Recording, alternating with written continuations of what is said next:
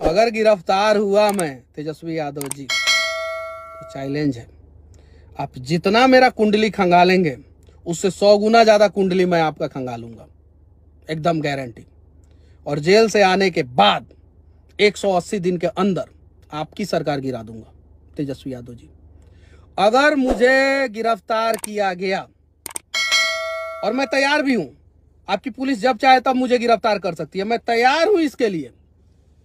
लेकिन मेरी गलती पहले बताइए, सार्वजनिक कीजिए कि मैं किस वीडियो में कौन सा बात गलत बोला हूँ, कौन सा बात भड़काने वाला बोला हूँ।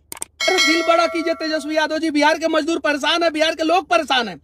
अब स्वास्थ्य मंत्री है ना तेजस्वी यादव जी, कमाल की बात है बिहार में कि हाइड्रोसिल का ऑपरेशन कराने आदमी जाता है, मुनुक यादव नाम है उनका हाइड्रोसिल आज तक पे खबर चला है, मेरे चैनल पे नहीं, आज तक पे। जाके देखिएगा। मुनुक यादव जी हाइड्रोसिल का ऑपरेशन कराने जाते हैं, सरकारी अस्पताल में उनका नसबंदी कर दिया जाता है। और उससे भी बड़ा कमाल की बात है कि बेचारा मुनुक यादव का शादी ही नहीं हुआ अब उसका तो बाल, बच्चा वंशज सब आपने खत्म कर दिया। आप स्वास्थ्य मंत्री है ना, जवाबदेही किसकी होगी? अगर मेरे वीडियो की वजह से तमिलनाडु में कुछ होता है तो आपने मेरे ऊपर एफआईआर कर दिया। तो आपके स्वास्थ्य मंत्री के स्वास्थ्य मंत्री रहते हुए अगर सरकारी अस्पताल में कुव्यवस्थाएँ हैं तो जवाबदेही किसकी होगी?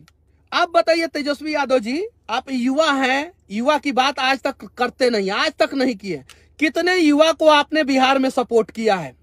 ओलंपिक में कोई बिहार का क्यों नहीं जाता है? कॉमनवेल्थ गेम में बिहार का कोई क्यों नहीं जाता है? कबड्डी खो खो में कोई बिहार का क्यों नहीं जाता है? आईपीएल में भी जाता है, बिहार का तो पता है, मुकेश कुमार कोलकाता से खेलता है और ईशान किशन जो है झारखंड से खेलता है। बताइए ना बताइए ना, राजेंद्र प्रसाद की धरती जो है, मजदूरों की धरती क्यों हो गई? कौन है दोषी?